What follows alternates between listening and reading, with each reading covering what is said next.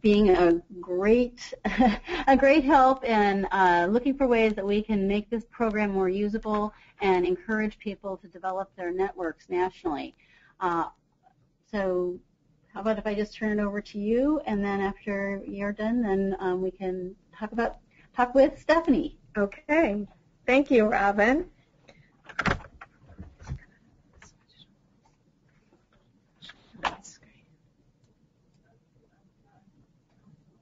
You're up. Okay.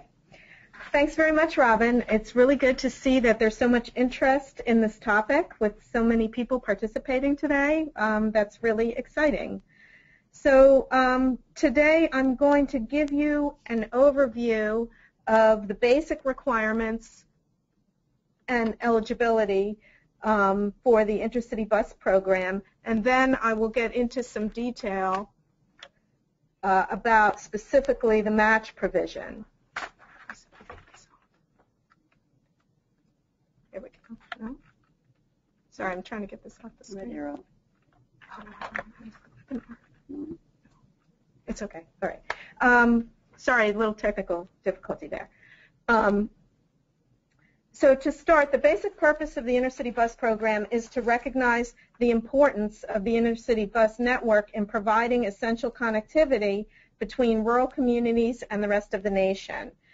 Um, in many instances, the intercity bus system is the only link between a rural area and the next largest city. So residents of rural areas really depend on this type of transportation, and it's really important to maintain it and to improve the linkages to it, and that is why Congress has created this program.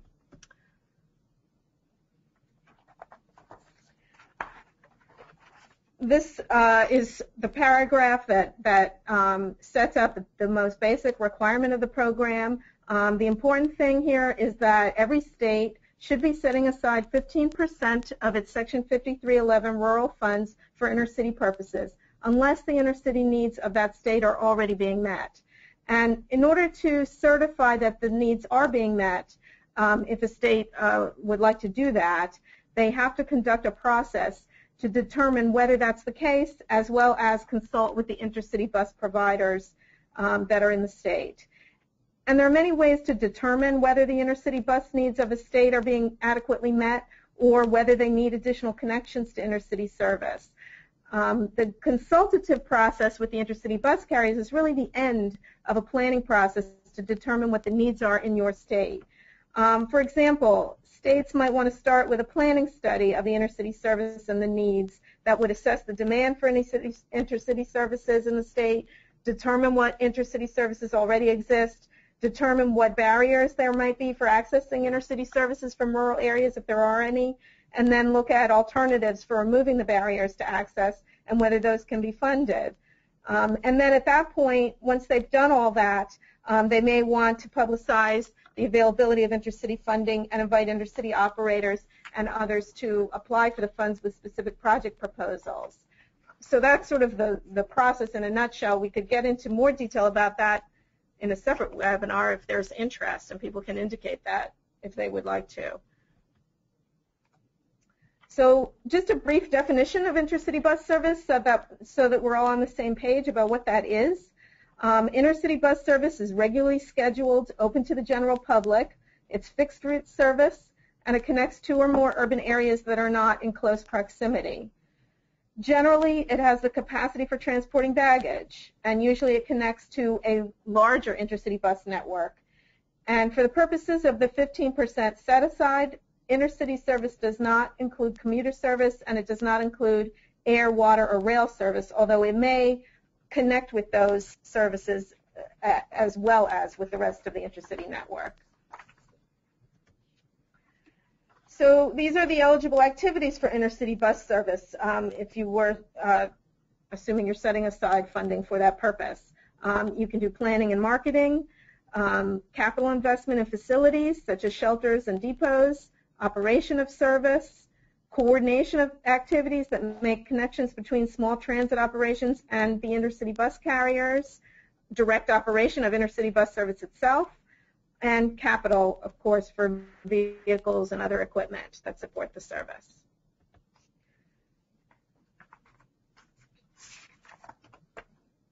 Uh, eligible subrecipients. Operators of intercity bus service are eligible subrecipients for Section 5311 funding. Um, they also could be treated as contractors rather than subrecipients, and that would be the state's option, which way to do it. But either way, the state must use a merit-based selection process to choose the operator.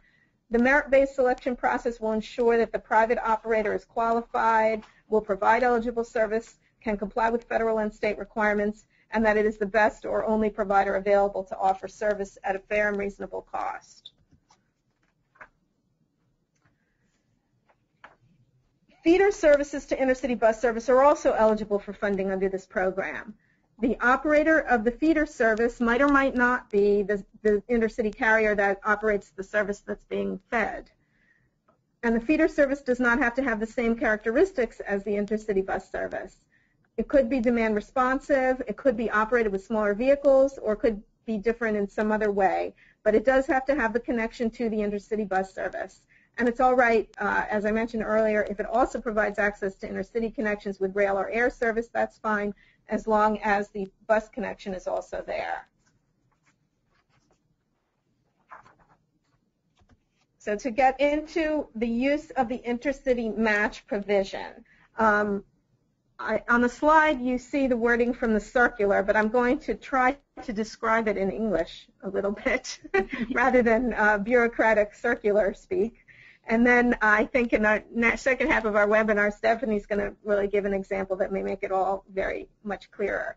But basically, the in-kind match provision allows a state to use its intercity funding to fund an extension of an existing intercity route or a feeder service to that route, to put it another way and then they can use the cost of the original route as the match, which reduces or eliminates the need for the state or the subrecipient to come up with a match. So one way of looking at this is a certain interbus, intercity bus line might be extended to serve a rural area, and that would be the feeder service to the unsubsidized bus service. The net cost of the extension after fare box recovery would be paid by the grant. But the project includes a longer portion of the line, including the part that was there before that was now being fed. And that part is paid for by the intercity carrier. It's unsubsidized. So the net cost of that part after farebox recovery is now the match for the extension. Uh, because of the competitive process for the grant-funded extension, it's also possible that the extension would be operated by someone other than the intercity carrier who is operating the main line. Um, that's allowable as long as the intercity carrier agrees to the use of the cost of the unsubsidized segment as the match. So it's important to have the, the intercity bus carrier has to have bought into the entire uh, project definition. So there are now two methods available for calculating the eligible net cost that can be used as the local match. The first is to use only the capital cost of the unsubsidized service as the match and use the FTA capital cost of contracting guidance to determine the percentage that can be used as match. Under the second method, the private operator directly calculates the net project cost and provides the information to FTA showing exactly how the calculation was made, including what expenses were used and how the fare revenues were calculated that were deducted. So again, we're going to get into some examples um, in the second half of the seminar, so um, of the webinar. So I know that's a lot to digest, but hopefully it'll be clear by the time we're finished. Yes, Stephanie has some great pictures. and that's always helps. This is a place where a thousand words really, um, you, you need to condense them into that picture because it really helps understand what we're talking about.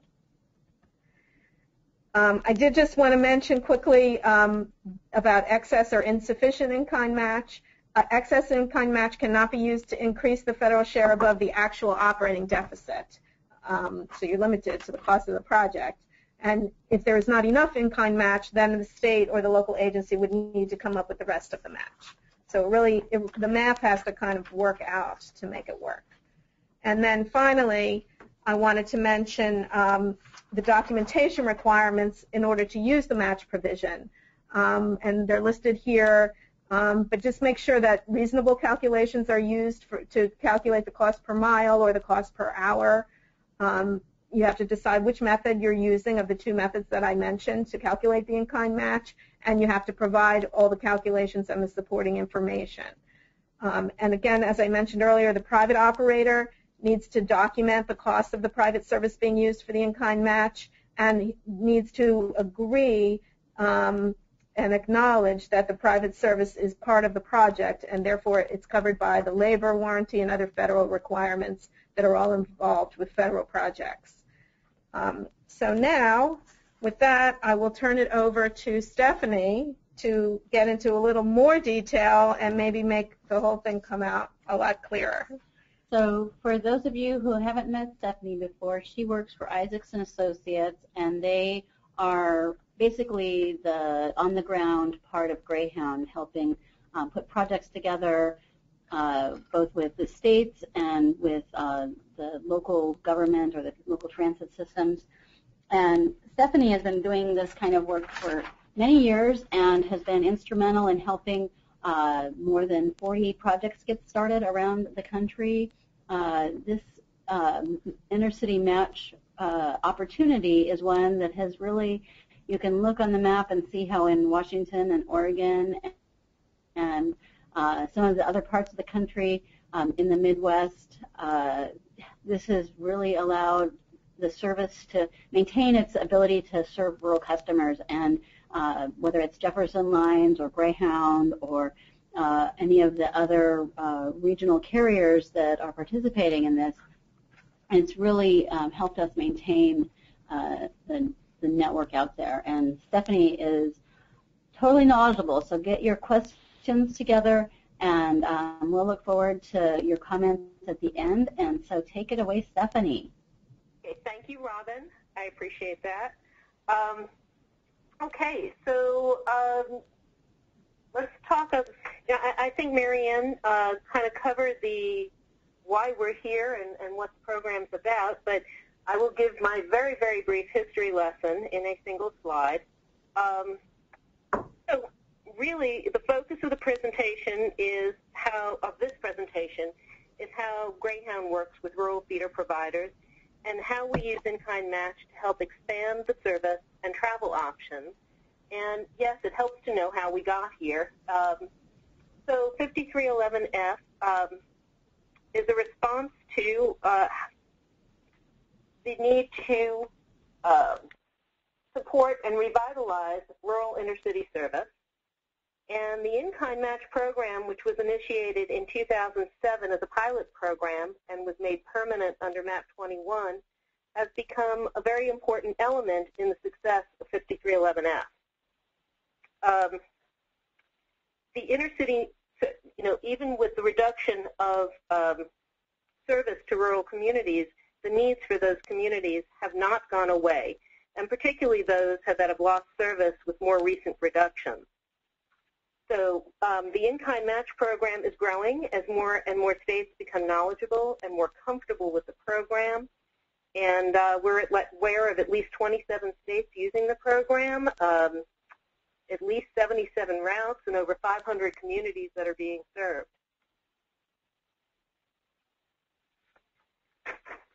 So really, this is about creating value. Improved transportation service feeds economic growth, to the traveling public, the community served, to the rural operators, and to Greyhound.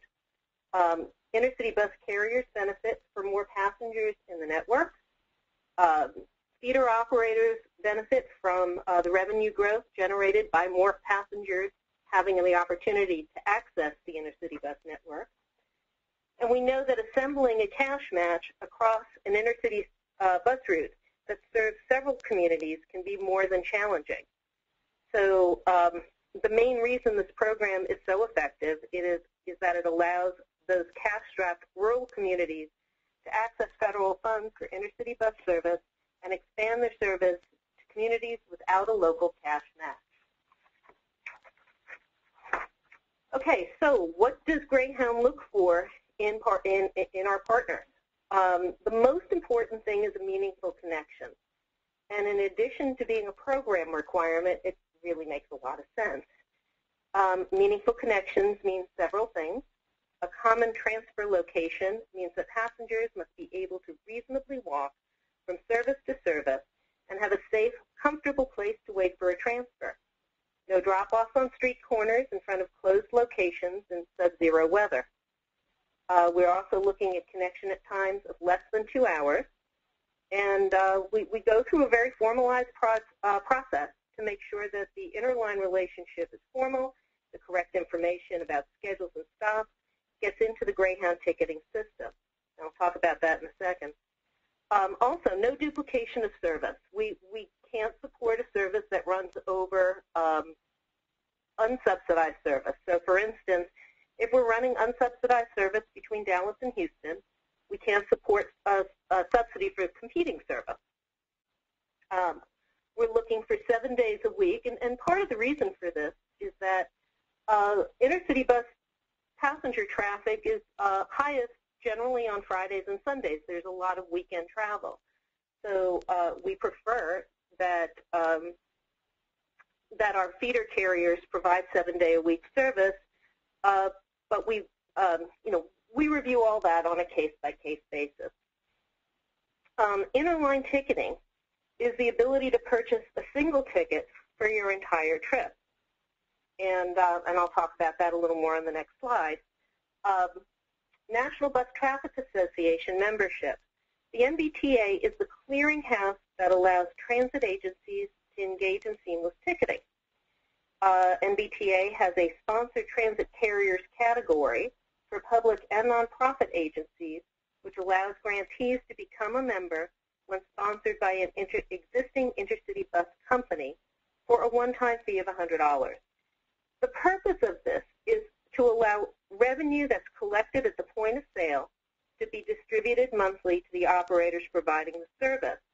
So, for instance, if a um, if a, a, feeder carrier sold a ticket uh, in Maine for a passenger who was going, say, from Maine to Alabama somewhere, that passenger may travel on three carriers.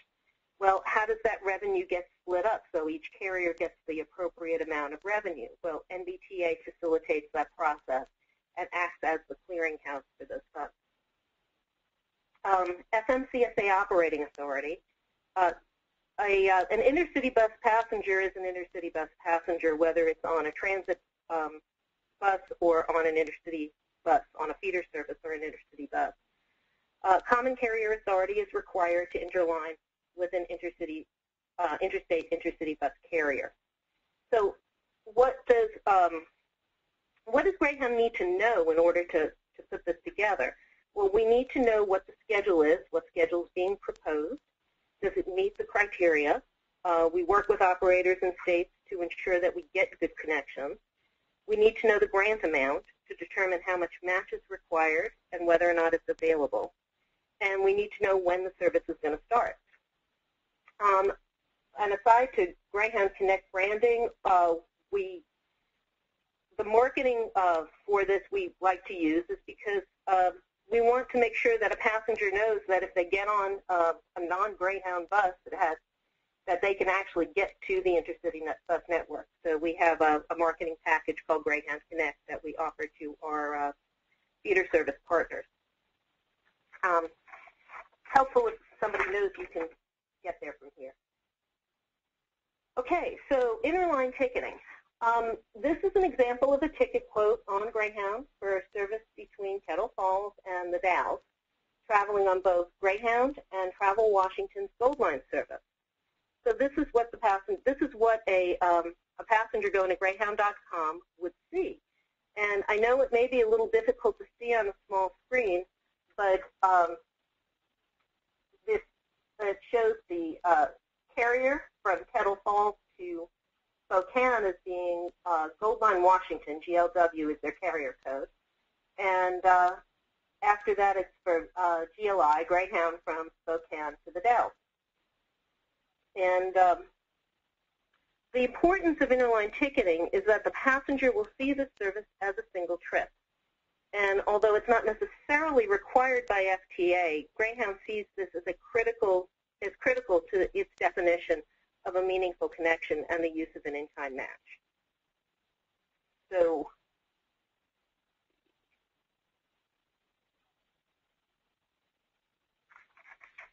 So a good example of how in-kind match works is the uh, Washington DOT program. Uh, in this case, um, Washington uh, manages the process and contacts Greyhound directly rather than, say, the um, operator contacting us um, and tells us what services it needs for match. Uh, Greyhound requests schedules, grant amounts, contract terms for each route, and then we validate the availability of match and issue commitment letters to the state. And they're renewed with each contract and revised as necessary. Um, in this case, Greyhound's not subrecipient, but the process is not significantly different when Greyhound's providing match for its own subsidy. And the math is, is exactly the same. So um, here we have a service. Uh, this is a subsidized service between Kettle Falls and Spokane. And uh, although it doesn't show here, that makes uh, 10, 10, stops at 10 intermediate communi communities and connects to transportation hubs at the Spokane Intermodal and the Spokane Airport. So the service connects with specific unsubsidized schedules. In this case, uh, the connecting schedule is between Spokane and the Dalles en route to Portland. Um, hmm, okay. And uh, you can see that the subsidized service is uh, up here and that the red dotted line actually represents um, two Greyhound schedules. It represents Schedule 6911 and 6912, which is the round trip between Spokane and the Dalles.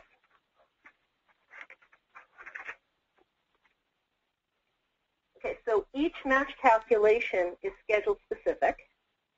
Um, the southbound Gold Line, Schedule 1, arrives at the Spokane Intermodal at 9.50 a.m. and connects to Greyhound Schedule 6911, leaving Spokane at 11.35. And remember, the, the passenger buying the ticket will see this as a single ticket. Uh, Greyhound Schedule 6912 arrives at Spokane 4.45 p.m. and connects to the Gold Line northbound, uh, Schedule 4, leaving the Spokane Intermodal at 5.45 p.m. So each of these connections is less than two hours. So um, the numbers are modified and made up so that the calculations are a little easier. But uh, the cost to operate the connecting miles determines the amount of the available match. So uh, the mileage between Spokane and the Dalles is, uh, say, 264 miles each way. And uh, current guidelines allow the use of 50% of the cost of the unsubsidized service, as Marianne was talking about. We use method one, which is um, capital cost of contracting guidelines. If the cost of each mile is approximately $4 per mile, the value of the connecting miles is $4 times 50% times 264 miles. We have a round trip, so multiply times 2. 365 days a year. We have enough to match a grant, enough uh, match for a grant amount of $385,000 in change. So as I said, uh, Greyhound uses method one and uh, to calculate its in-kind match. All right, so yes, these numbers are made up for illustration purposes. But what if uh, the net project cost for the service was $350,000? Well, that would mean that the operating expense from Spokane to Kettle Falls before the in-kind match is 500000 uh, less a fare box revenue of 150000 which means that the net project cost on the subsidy portion of this service is $350,000.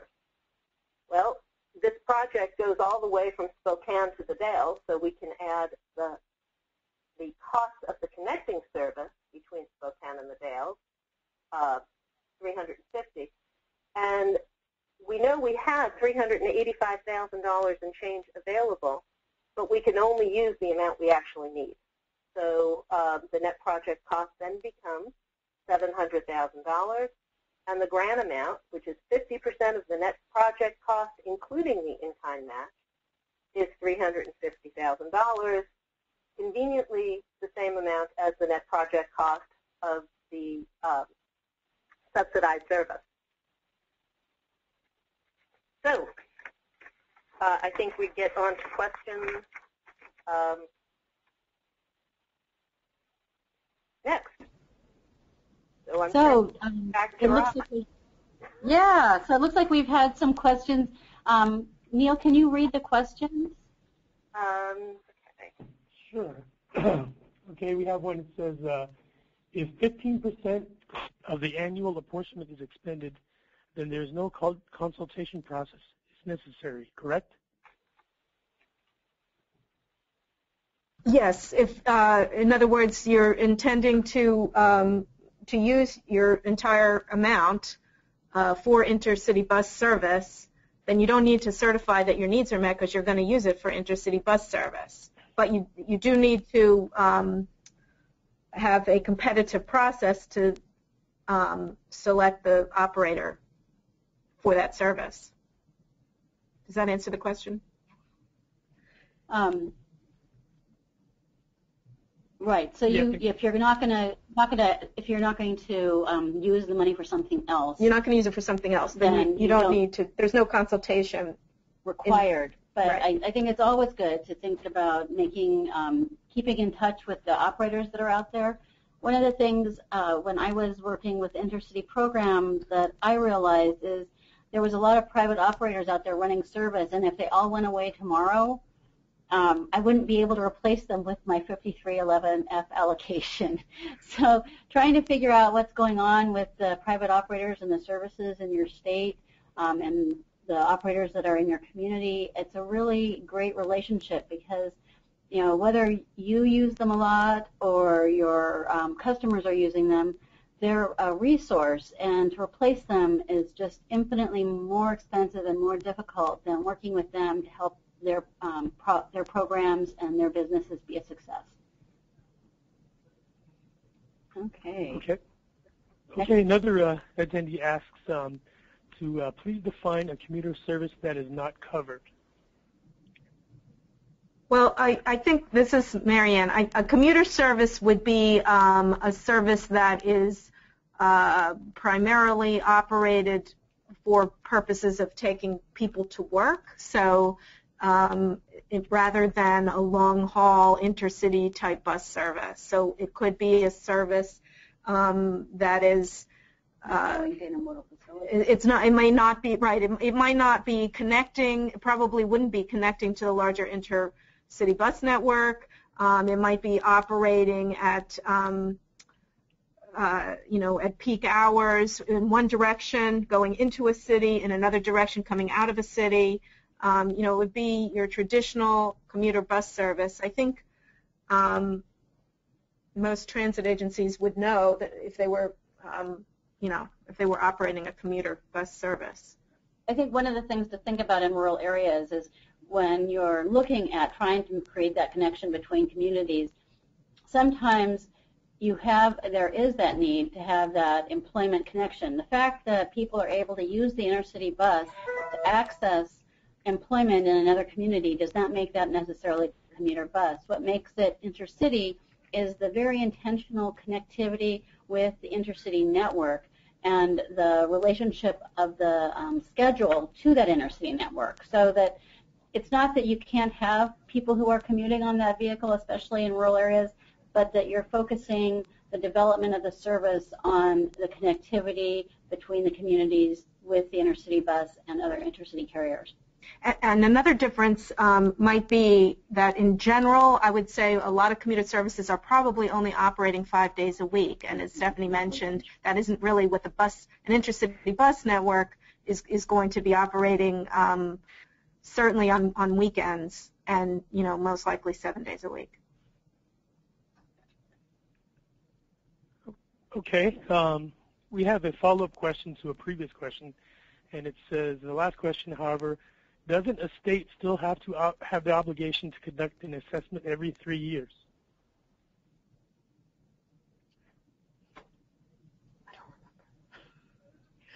Um, well, it's yeah. a good pla- practice, certainly. I don't.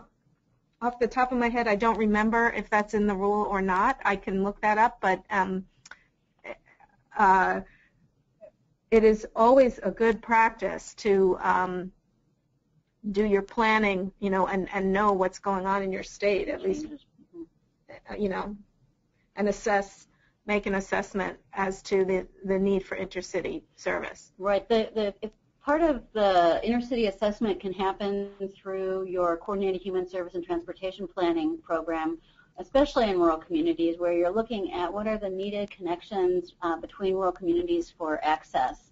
And uh, that those plans are, I think they're required to be updated every four years. Uh, but the intercity, uh, that if you really integrate the intercity question into that pro program um, from the from the um, local perspective, you could roll that into and provide good information to the state planning process when they're real, really assessing um, connectivity needs. Okay. Well, another uh, attendee asks, under what conditions may a service connect to Amtrak or an airport and be considered eligible intercity bus service? If it is also connecting to uh, an, the intercity bus network. So if the uh, intercity bus uh, stop is in the same place, which I think happens a lot all over the country, near the Amtrak station, then that's fine. Then you you know your same service might be connecting with the intercity bus stop, and then people might be also riding it and might happen to get on the train. As long as there is a connection to the intercity bus network, then it's fine. It doesn't you know, and it's helpful if you know if the other connections are there also. It's not won't be disqualified. I guess is a way to put it. Okay. Another question any issues accounting for or getting approval for unsubsidized miles across state lines? Is it based on the approved route? We never have an issue with that, and, and we and our subsidized, unsubsidized connecting miles generally do run across state lines. Okay. Um, and there's a series of questions. Um, which states have certified their needs have certified their needs have been met. And then talking about mm-hmm. cities not in close proximity, how is that quantified?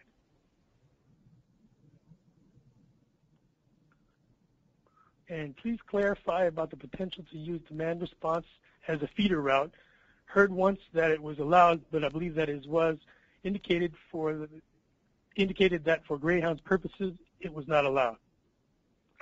And it's allowed from a, uh, it's allowed as part of, um, you know, under the federal rule, it is allowed. I can, this is Marianne speaking for the federal rule. If Greyhound is saying, I'll let Stephanie speak yeah, for Greyhound. Um, well, well with, with respect to demand response service, in order for us to offer an in-kind match, we have to really be able to quote the service that we are um, matching. And uh, since we ha- we don't have the ability to put demand response service into our ticketing system. We can't ticket it. Then we cannot offer an in-kind match for it. That doesn't make it ineligible for 5311F funding. It just means that we can't offer an in-kind match for that service. So you could find the match from some other source and still do it if you, uh, in a particular state, if that was the feeling that that's what was needed but you would just have to find a different way to match it. Okay, and then there's a follow-up. It says, if demand response is allowed to perform as a feeder, what impact would that have with private taxi carriers?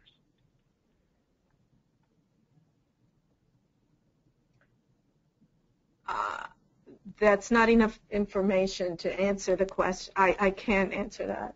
I, don't know. Okay. I, think, I think that, that's a very specific question, so I think you're looking for some very specific technical assistance there, and um, better to, uh, if you need an answer from FTA, I would suggest asking it through your regional office. I mean, the, the question about taxis and demand response service is one that comes up again and again, and one of the things about the differences between taxi and demand response is that uh, you are not um, that you are at, you're requesting a ride, but the demand response service is uh, scheduled by a dispatcher, and you can have other people on that trip whether you are interested or not. Um, the demand response service is open to the public, whereas a taxi trip is not. Um, oftentimes you have taxi operators that are very concerned about demand response service in their community, but really it's a spectrum of services, and uh, demand response transit has not been uh, a real detriment to taxi service in rural communities. Okay, got another question. Does this program qualify for a public transit agency doing this in connection with a private bus company? Um, Yes. I think so. Yes. Yes. if, if the it's it's up to the state to make the funding available, and however whatever subrecipients come forth, that's how it works. Okay. Um, got another question. Megabus and Bolt Bus are confusing as examples of intercity bus service as they do not make connections. Passengers can make their own connections and can go between large city pairs that might be closer together and therefore similar to commuter service. That's a comment. Um, well, that's true, and you have the, some of the same issues if you go between rail and bus. Um, we're starting to get Google Transit so that bus services that are on Google Transit are able to make intentional connections, or you're able, as a customer, to create the connections between your um, bus trip and your other mode. I mean, just as if you, just as when you take an airplane, you don't usually get your taxi or um, shuttle at the same moment. You're not scheduling those at the same time, door to door. Uh, we, I think, over the last five years, we've seen a lot of improvements in access to uh, a variety of modes online, and so the ability for someone who's trying to put together an itinerary to put your intercity legs together and then uh, connect that last mile at both your origin and your destination. So um, I, I, would say that we haven't created the visual um, and access network that we dream of, but we're working that direction. Okay, another uh, attendee asks, where can we find a map slash data about Greyhound subsidized service routes? Wow. Well, any of Greyhound's routes are any of their their services are unsubsidized. Are you trying? The question is whether you're trying to find out where they're partnering, or are you looking at what the opportunity is in your state to partner with Greyhound? Those are two really different um, opportunities. Uh, Stephanie? Um, I, could you repeat the question, please? I'm, I'm not sure I, I heard it correctly. They asked, uh, uh, where can we find a map slash data about Greyhound subsidized service routes?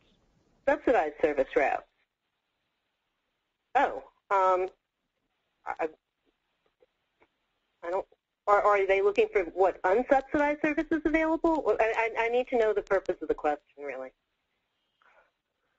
Okay. What, what I'll go to the next one. Okay. Um, they ask, I see Caltrans uses Amtrak throughway buses and is combined with train ticket into one ticket. Can we do a combination of Greyhound with Amtrak tickets in other states? um, they do in, in Oregon. Um, you can buy the the feeder service bus ticket and the um, throughway service tickets. You know the train tickets in one place, but it's not a national program that I know of. Uh, and so the California system, and maybe Stephanie can speak to this, is very, it's a sort of a segregated system. So those buses are on the Amtrak network. They're not in any other network, and those are rail buses solely. Yeah, I'm, I'm really not prepared to speak to that today, so um, I may have to defer that and, and get back to someone later. Okay. Well, another question. Um, could you please elaborate on a rural fixed route fixed route provider that tweaks its route to intersect a bus stop utilized by an intercity provider When would it be appropriate to fund that route or a portion of it with 5311F funds instead of 5311? Well, I, I think if the, the feeder service was able to um, provide that connectivity, um, if, if they were interested, the in-kind match is not available under 5311, only under 5311F.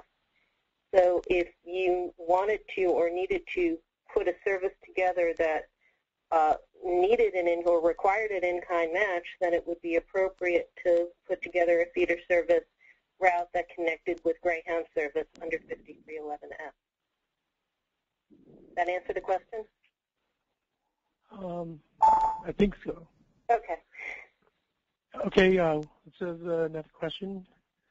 Um, what can FTA do to allow the availability to provide available funding for an intercity bus service to Amtrak? As our state becomes more rail-centric, we have a tough time approaching intercity carriers. Um, that is, uh, the, all of the uh, requirements and eligibilities that I mentioned, this is Marianne at FTA, um, are statutory requirements. So the FTA doesn't really have the ability to change uh, the the eligibility, and right now, um, intercity rail is not eligible, uh, according you know, as stated by Congress. So that's not something we can change. Okay, uh, another question. FTA previously provided an annual list of states that certified there were no unmet intercity bus needs in their state. That report has not been produced for several years. What is the possibility of FTA again reporting this information? I'll have to look into that. I have, I'm new to FTA. I wasn't familiar with that report. I'll, I'll find out. Okay. Another question. If a route only receives capital subsidy, are the operating costs of that route eligible to be used as an in-kind match? If, In-kind match is strictly for operating. Right. You can't match capital with in-kind miles. Marianne, I'm getting that correct, correct? yes, that makes sense to me. I, I can you read the question again? I think I missed the Yes. If the route only receives capital subsidy, are the operating costs of that route eligible to be used as in-kind match? No. No, I would say no. No, of that, no. All right, well, um, here's another one. What happens to the 15% states must set aside if they do not expend all of these funds on inner city needs? Assuming, of course, that they have not certified their, their, their needs are, are met. Are these funds held, rolled over, or lost? They can be used if, if there is a if there has been a certification, they followed the process, and there definitely are no unmet intercity needs, then those funds just uh, go into the regular uh, Section 5311 program for that state and can be used by the state for any other 5311 eligible purposes. Okay, uh, here's sort of a long uh, question with a long comment. Will FTA be making publicly available the amounts of the unobligated funds from each fiscal year?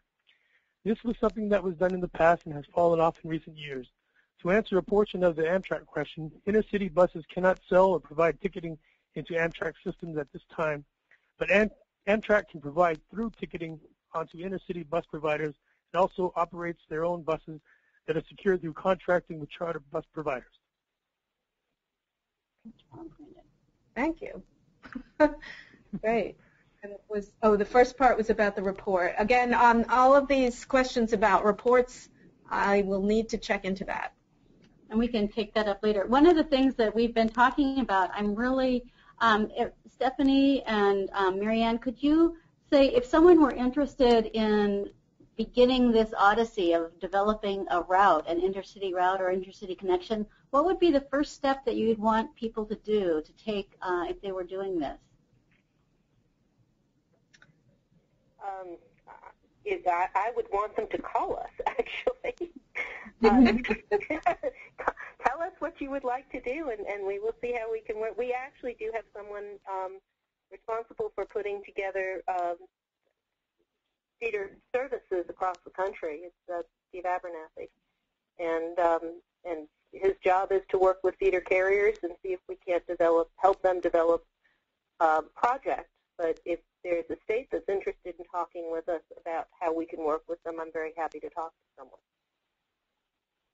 And I would say that the first step um, is uh, to understand, you know, make sure that you understand the market and the needs in your state, what parts of your state need to be connected with the intercity um, system, and that you've done, you know, your homework as far as um, knowing that there's, you know, a need and a potential route. And then at that point, yeah, you need to not only contact, um, you know, contact, I would say, again, make sure you've done your consultation process and that you're conducting a, a um, competitive selection process when you think about um, starting a new route. That's always a good idea. Just to clarify uh, the previous question, it says uh, what happens to the 15% states must set aside if they do not expend all of these funds on inner city needs. I think there was a misunderstanding. Um, so if you haven't certified but you don't use it, what happens? If it? you haven't certified and you don't use it, then um, I mean, like any funds that you don't use, if, if they eventually lapse, they'll be they'll be gone. Three years plus one. Three year. You have three years. Yeah, three years plus. No, two years plus one. I think a, to, a total of three years um, to use any funds that are allocated from FTA. So, um, if they're not used within that time period, then they will be taken away. Okay. Another one asks, uh, does anyone use cost per mile to determine eligible cost? Greyhound does. Okay. Then uh, another question, is there any rural BRT that qualifies for intercity bus funding? Oh, BRT. I'm not familiar with any rural BRTs. um, but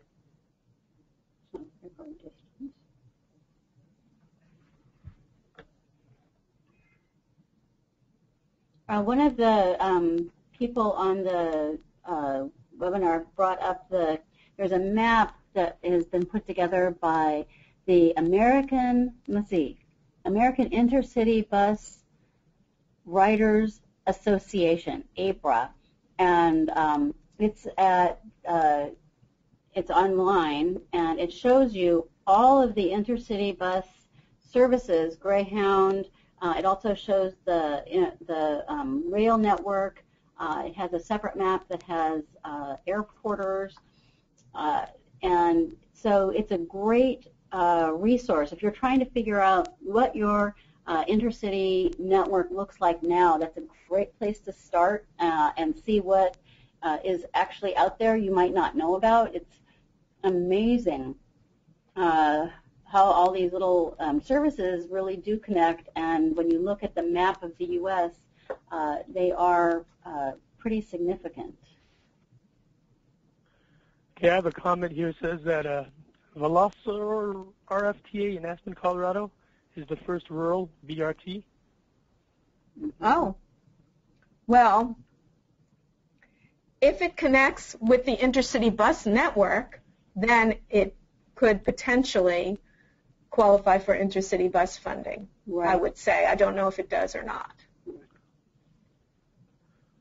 Another question.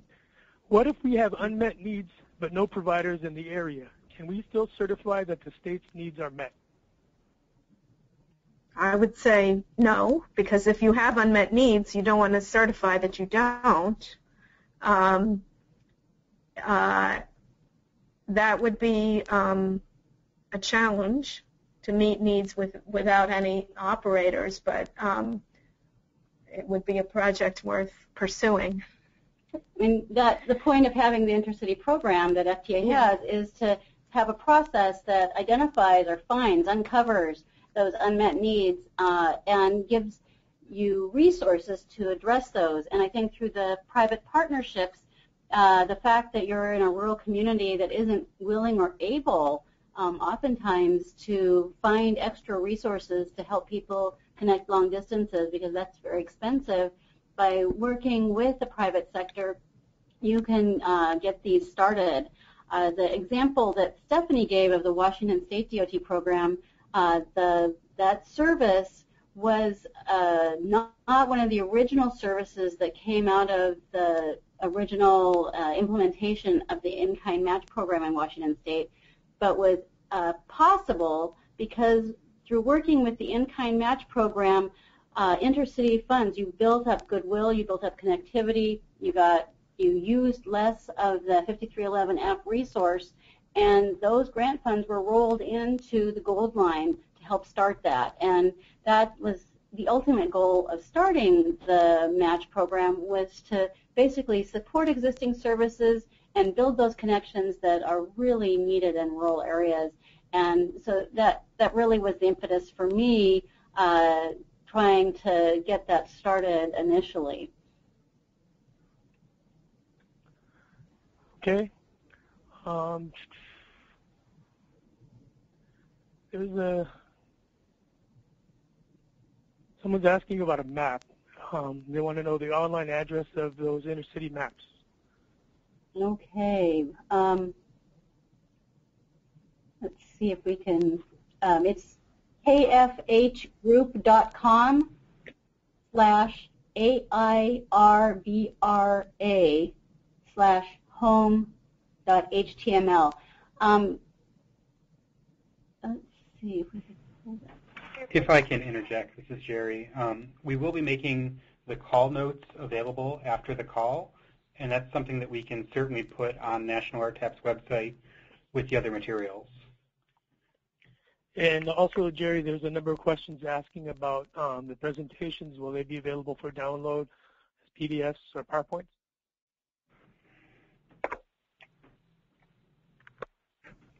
Um, the presentation recording should be available. Um, the individual presentations are generally available. Um, I'll talk to each of the presenters, and we should be able to post them. Mm -hmm. also, once the presentation or the recording is posted, that'll be both on the National RTAP website and it'll be announced in our e-news. Um, so it's something that should be um, easy to find publicly.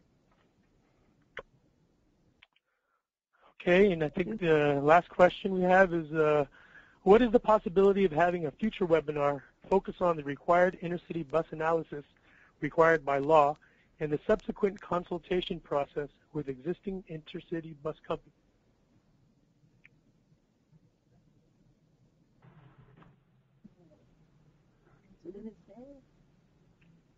Future. You want to repeat that, Neil?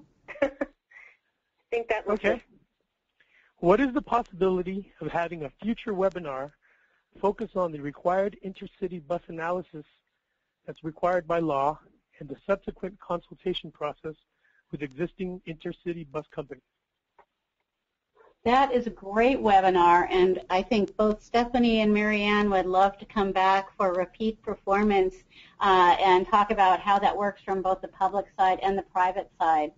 Um, I also do want to put in a plug for the, Art, the National RTAP uh, Technical Assistance Conference that's coming up in Denver, and we're going to have uh, Fred Fravel, uh, some of the people who work at Greyhound. We'll have other intercity operators there um, to sit down with you. If you have ideas about sessions, you, you know, routes that you think might be possible, um, if you have ideas about working with the Intercity Match program, uh, please, you know, think about coming on Tuesday, and there uh, will be people there to talk with you and uh, look at your individual um, situation and get some real feedback on that. And we really want to encourage people um, to participate in this discussion because I think uh, access is service, but it's also information. It's how do you get the information out about how your services are used. I saw today that we had some great questions about interlining and ticketing and itinerary building uh, and integrating modes. And I think those are things where our voices there are some steps that are being taken in that direction, but our interests and our voices in those areas are key to moving. Um, we have a Google Flex spec now that's creating the opportunity to make demand response visible in trip planners. Well, what does that do for our intercity program when we can see those rural connectors that are only available during certain times, but understand that those can connect. So I think the maps and the work that we're all doing, we're uh, creating and actually uh, reflecting back a really wonderful picture of the connectivity that is possible and also is happening out here.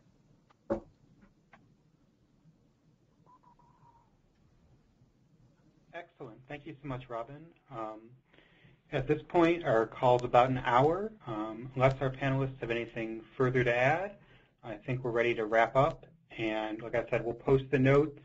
Um, we'll post additional materials like that website link.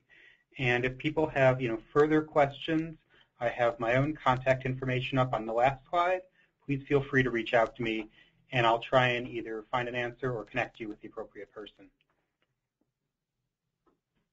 Thanks, Jerry. Thanks, Neil. Thanks, right. Stephanie. Thank you. Thanks, Marianne. Thank you, everyone. Mm -hmm.